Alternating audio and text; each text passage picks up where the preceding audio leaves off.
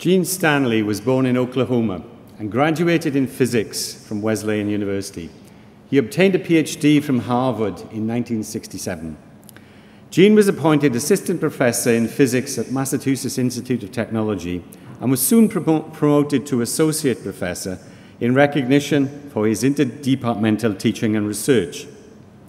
He next made the one mile journey across the Charles River to the University of Boston, where he has stayed for the rest of his career.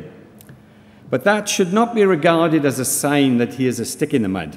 Intellectually, he has traveled across numerous subjects pioneering interdisciplinary research, and he holds no fewer than five professorships in physics, chemistry, biomedical engineering, and physiology. Eugene Stanley's curiosity led research interests are not only in the traditional fields of physics, but also in the application of the ideas of physics to medical, economic, and even sociological problems. His research output is truly phenomenal. He has published more than 1,380 papers, many in the highest rated journals, and he has written 33 books. This work is truly significant by any measure of research impact. Google Scholar lists over 134,000 citations to his work. Professor Stanley is a member of the US National Academy of Sciences, the highest honor given to the very best American scientists. He has been awarded many prizes, the most prestigious being the Boltzmann Medal given by the International Union of Pure and Applied Physics.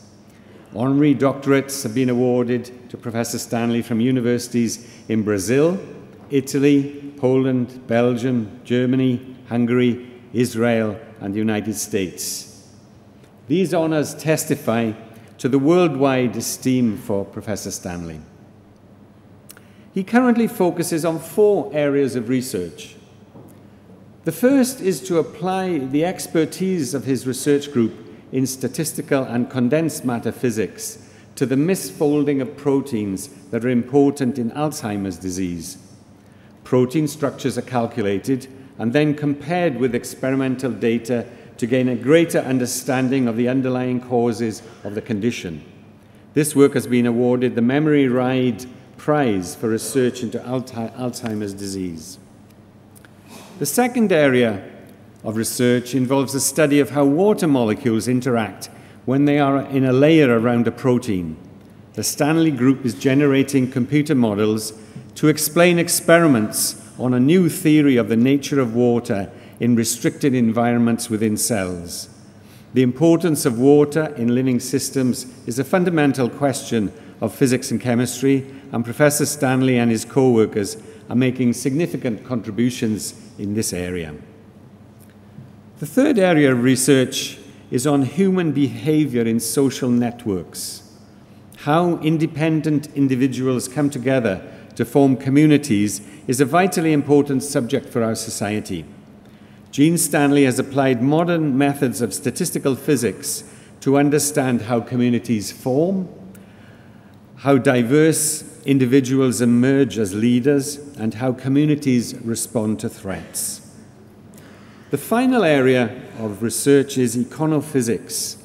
Gene Stanley is called the father of modern econophysics, a term that he coined.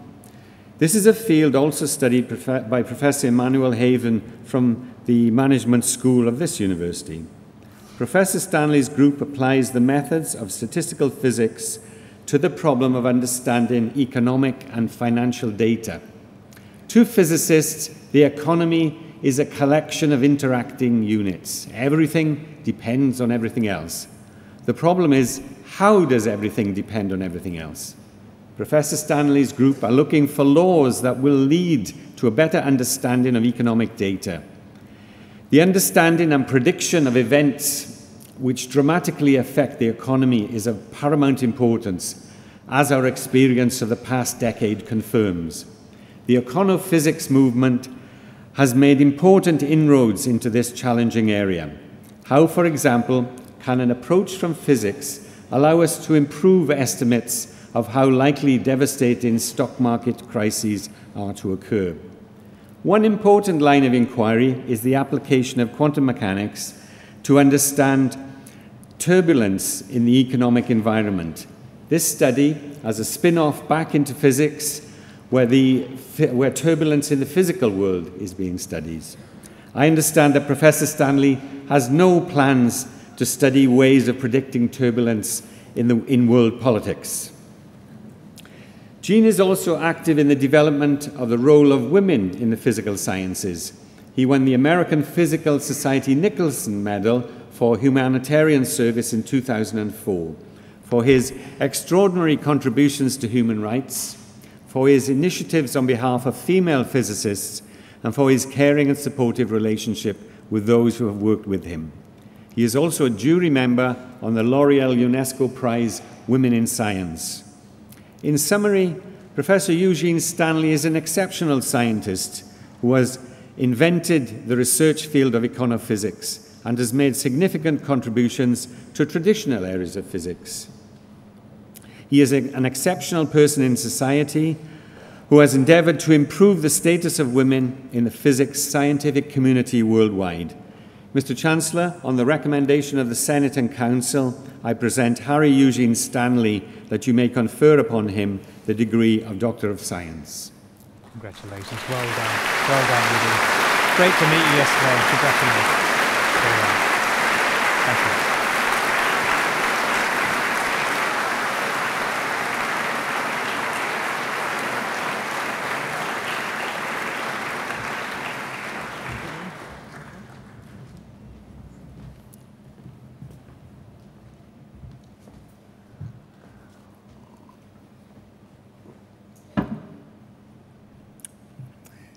So, honored graduates, honored supporters of graduates, parents, children, spouses, and honored faculty who each did their best to bring you to the stage you're in right now. I have the honor of spending two minutes to say something, so what should I say? I think the most important thing to say is to counter the impression you may have gotten in the last three minutes of reading, which is that I do so many things. This is not true. Uh, my students and my colleagues do it, and I clap my hands. And I think uh, the concept that uh, a, a person who's driven by curiosity cannot possibly do much himself or herself, but can catalyze work of others is an important concept not to forget about as you go into life. Uh, and uh, the second thing is extreme honesty.